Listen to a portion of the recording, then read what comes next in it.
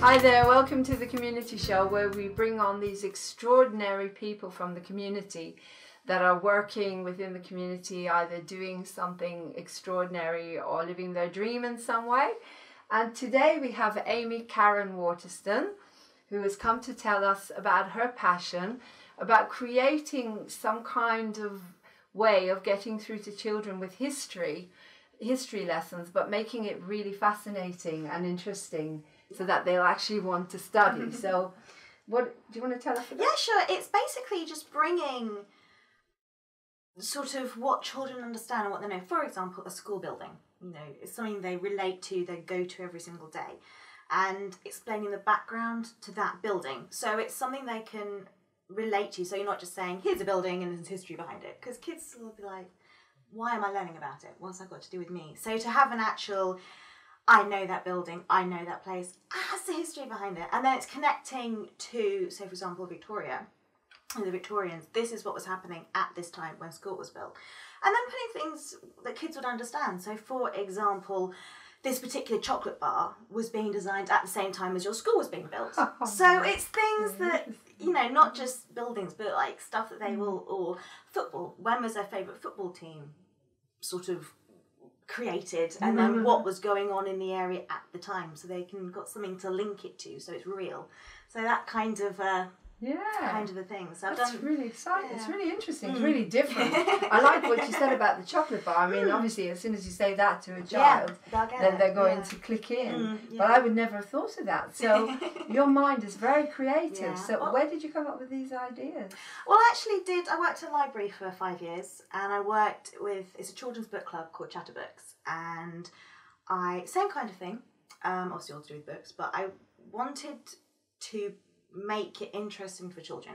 Because with an adult you can sit there and say right we're going to read this book and a parent an adult will do it because you know eh, they've got the ability to look at the world. Mm-hmm. Children i think are a bit more you know they like having what you know eh, it's good for them to explore things but i think in a way they've got to make their own decisions as to what they like and making them or forcing them to read something.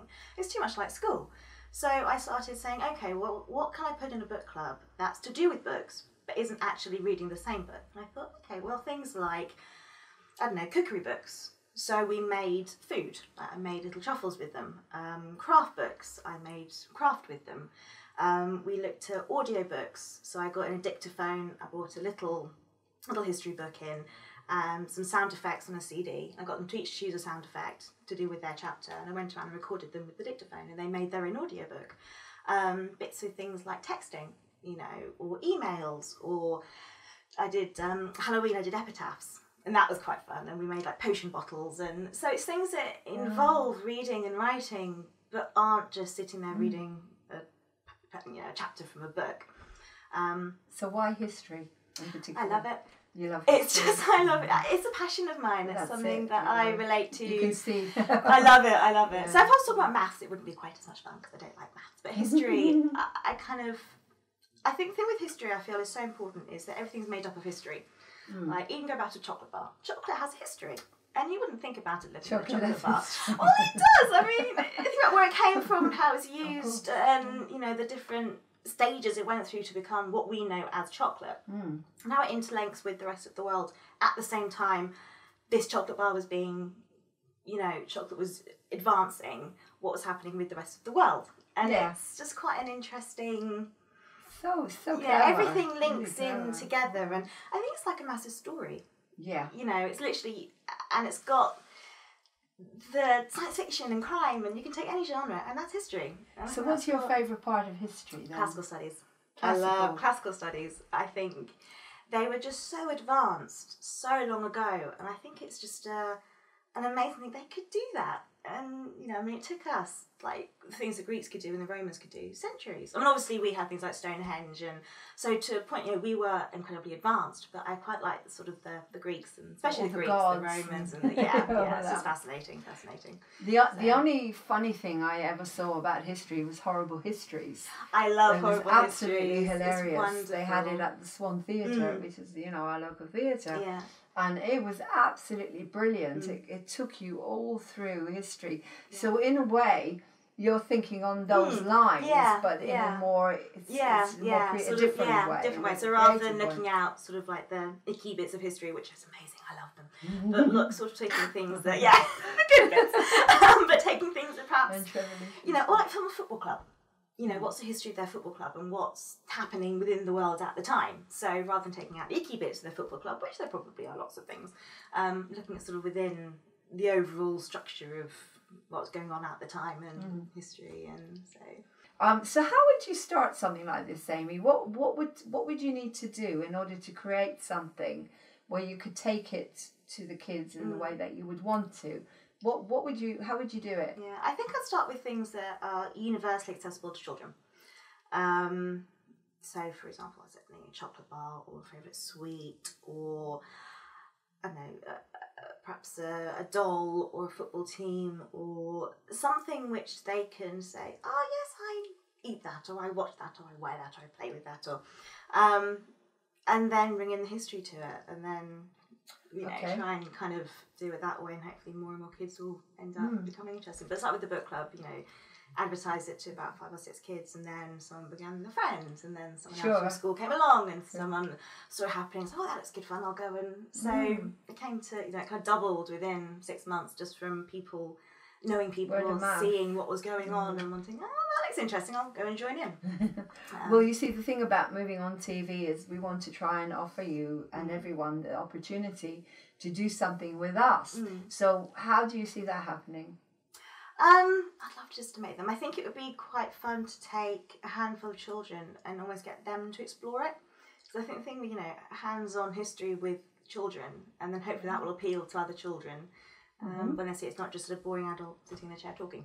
so you so you basically would film yourself with a group of Mm, kids yeah, yeah. with a part of Yeah. history yeah, and then, then you come, and then discovering it and yeah. sounds very yeah, interesting yeah. sounds very But it's like the exciting Children Open, open Air Museum. It's something you know kids can go along and they can walk around all the historical houses, Mm. and I think it's just something that's it's hands on, it's there, it's accessible rather than reading in a boring history book, which I love Sure. doing, but lots of kids don't. well yeah no as you say yeah. it's a very different way exciting Mm. way to to get history across to kids Yeah. and to get them i mean one thing i we were talking about this when we first met and i was saying that yeah history is very important in the way that you do need to know Mm. what what we've been through i mean i i believe that you've got to let it go Mm. and use it in a more neutral way Yeah. so we you know we learn a lot about all the everybody's histories and we all come together and move on basically Yeah. because a lot of people hold on to history how do you feel about that i mean some people actually hold on to what happened to them like countries as we know Mm. will hold on to the pain and the history of it all and they can't move on Mm. and then you you have Yeah. wars and you have problems how do you I feel think about all that it's learning from the past and hopefully the mistakes that our ancestors made, fingers crossed, we won't make ourselves. Um, so I think just to learn about, you know, obviously there's going to be a certain point, you know, that things, you know, for example, things are never going to happen again. So, for example, the ancient wars with arrows and cannons, and this is not going to happen because we've moved on. Um, fingers crossed. um, but it's We things like yeah, moved but it's like yeah. concentration camps. Hopefully, we have learned from that, and it will never happen again. So I think it is very important to learn about these things. I have to admit, modern history. I have to admit, I don't like learning about it. I think it's too close.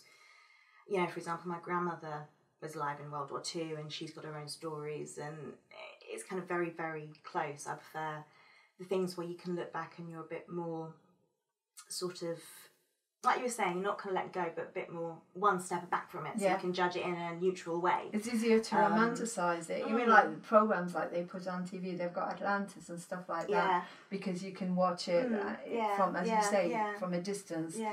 and create your own story around it because you're not too close Not to too it. close. I mean, for example, Mm, you know, kind of the, the ancients, Greeks and Persian were always at war with each other. And, um, but, you know, 2,000 years later, you can take a step back from that and start learning at it as subject. So this is this side and this is that side. And these are the conflicts and this is how it was resolved and this is the wars and that. But you're that one step back from it. Mhm, Um, so you're not kind of up. Great. You know, well, it's places. That makes absolutely fascinating. I love, I love your passion and I love your ideas. Um, so thank you very much, Amy. Thank you, thank you, thank you, thank, Thank you you. for Thank coming in. you. No, thank, Thank you you for having so me. You're welcome. Thank you. So that was the amazing Amy, Amy Karen Watterston with her beautiful, beautiful ideas. And if you're interested in what we've been talking about, you can contact us. We'd be really interested in Yeah, your views yeah, and what you yeah, think. And if you want to come on board and work with us, you know, if, if your kids, if you're interested, your kids getting involved or your school or library group or anything, you can contact me at Moving On TV or you can email me Lauren, L A U R E N, at movingontheatre.co.uk and you can call us on 07437 532 798. You can text or leave a message, but we'll always get back to you. So have a beautiful day and keep moving along with Moving On TV. Thank you.